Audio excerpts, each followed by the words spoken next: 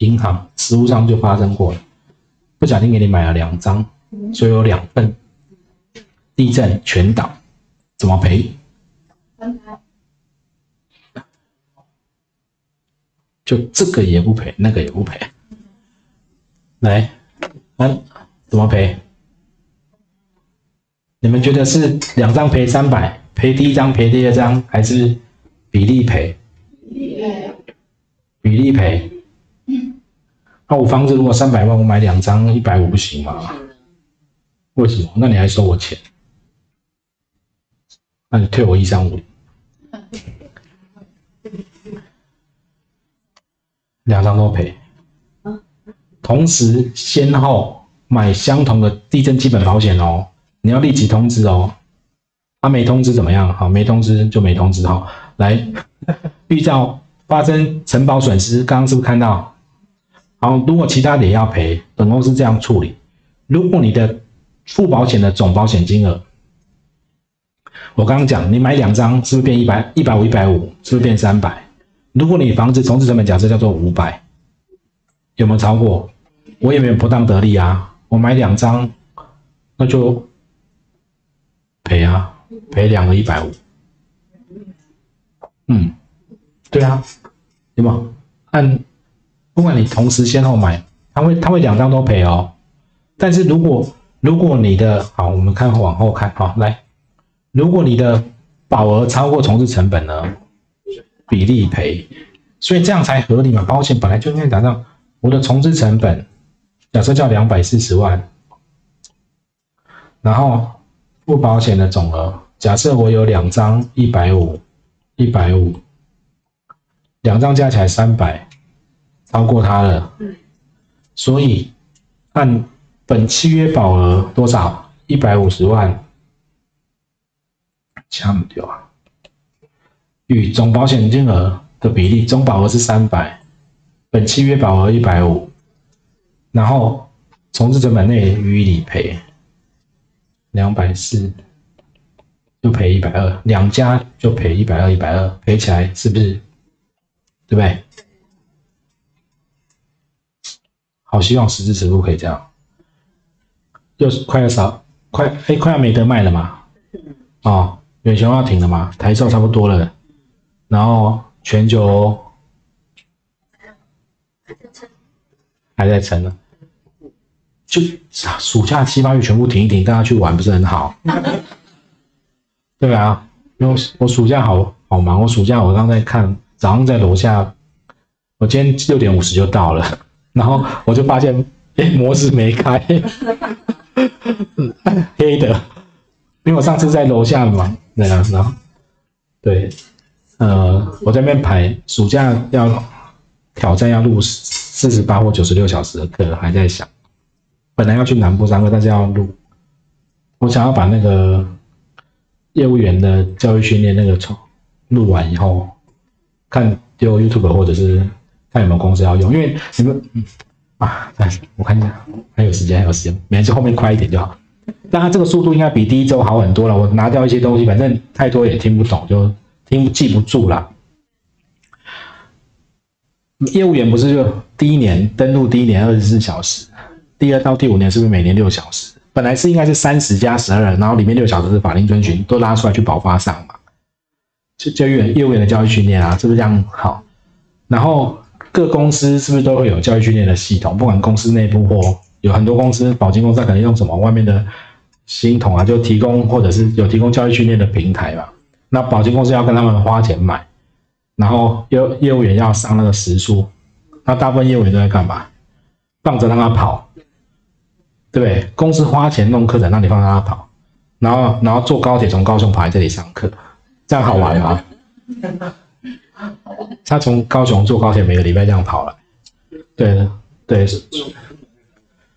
对，但但我就问他说，因为可能南部是没有这种资源，那上一天如果三千，那高铁票来回两千多，他觉得 OK，好，但是我还是觉得有点辛苦啊。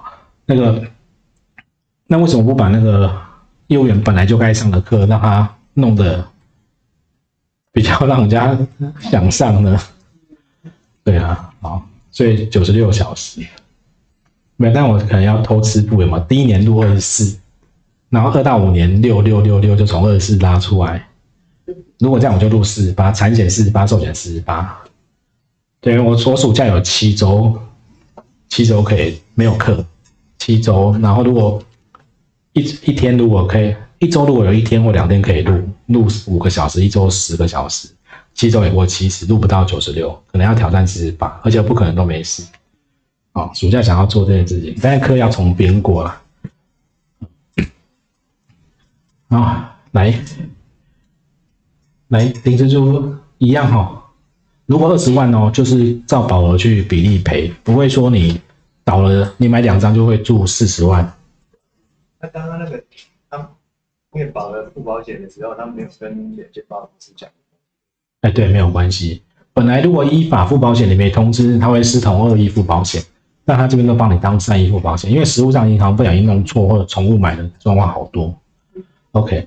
好，那付保险比较比较正常的状况，比较比较好的说法。虽然我们在保险法，你们看保险法三十五条，他讲付保险，他讲的很单纯。你们翻保险法三十五条，哪一页？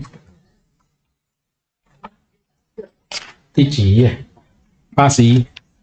他说要保人付保的险叫做要保人对同一保险利益、同一保险事故数个保险人分别订立数个契约，就要保人同一个保险利益、同一个保险事故。好。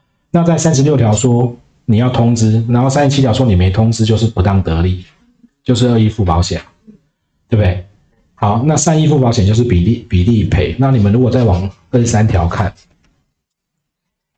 在七十八页，他说同一个保险利益、同一个保险事故订立数个契约，哦，他都他都只有限制同一个利益、同一个事故，好。那其实付保险这样的条件并不完整啊，哈，比较完整的说法会是这样讲哈，呃，我们当然法令没有修，本来要修也没机会修，应该要要这样子，要保人对同一个利益，and 同一个事故，为什么？因为我我又我有没有可能车子，你你如果这样讲，车子是不是付保险？我车一台车我又买了窃盗险，又买了第三人，又买了那个车体险，可是它不是同一个利益啊。车体是财产损失啊，窃盗是也是那所有一个是所有权，一个财产权，然后责任险是对别人的，那事故也不一样啊，一个是撞碰撞倾覆，一个是偷被偷窃嘛。同一个期间，我如果今年买一张活险，明年买活险，你说我付保险也没有，你期间还要一样，或者它是有重叠的，比如说一一张保单的期间。这样子，这 A 保单，这 B 保单，只有这一段期间是付保险啊，这里没有啊，这里是 OK，这里是 OK，所以期间也要重叠啊，然后你还要多张，还要多保险的。那以前人家说单一公司双十支，我就说好，那就不是付保险，因为它是单一保险人，但是数张保单。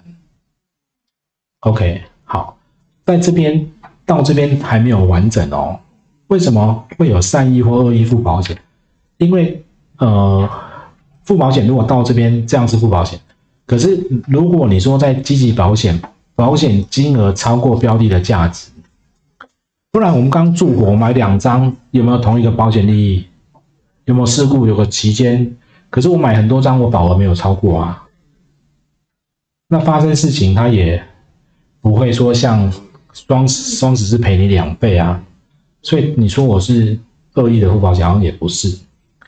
所以积极，我们因为那个房子是积极所有权的积极保险利益嘛，就是我的保额，哎，买好多张，一百五一百五，就超过房子是两百四。嗯，好，那消极保险为什么会买到这么多？应该要这样看，我消极保险比较好的定义是，如果你买好多张，最后保险公司要赔的总额超过损失金额，才叫付保险。不然我举个例子。我假设能这样买啊，是当然实物上现在是不可能哦。我今天买了第三人责任险、车险好了，或者火险啊，就住火，住火附加第三人。我我刚好买了两张住火，A 保险公司我有两张住火，然后它的第三人我们是不是看两百一个一个事故两千四，就一个一个人是两百万，住火的基本的那个好，然后我买保险公司也是两百。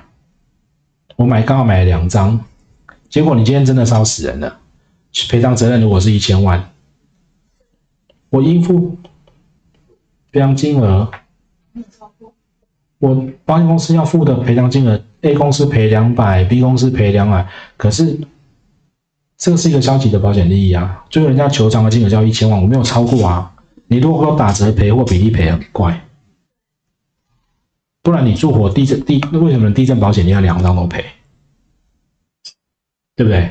好，所以其实我们有很多东西它其实并没有完整啊，在法令上跟条款都没有约好，会有这样的小问题。来。来条款的适用，好，你看啊，这边就附加条款跟主契约有抵触，以附加条款，所以我在地震里面的装潢就不在建筑物里面了，它是不是有抵触？装潢在我们的那个本来主保险契约条款，建筑物含装潢，但它这里的建筑物不含装潢，那有抵触用附加条款为主，在契约上面是以那种你原本定的契约是标准，然后附加附附约是就是。效力是优先的，所以你会你会看到你们的寿险常常有附约延续条款等等啊，这些他去修改到上面。OK，好，所以地震讲完了哈，剩三四分钟，赶快帮大家回忆一下火险的条款，差不多时间哈。好，哎，记得要签到跟签退哦，刚刚在传啊，来，你看看到有个基本条款，就是共保条款的部分，然后火险是不是有一到六章？我们现在火险住火讲完了哦。好，住火里面你基本上比较少特约条款，有会有那种抵押权那些，呃，我上次有给大家看那个保保费延付延那个那个就是迟交的，我可以同意你迟交，但你没交我不赔，那就是特约条款。好，然后附加条款，附加险条款，我们下午会上附加险，附加险，那附加条款就是另外加上去的。就跟寿险它的架构不太一样哈，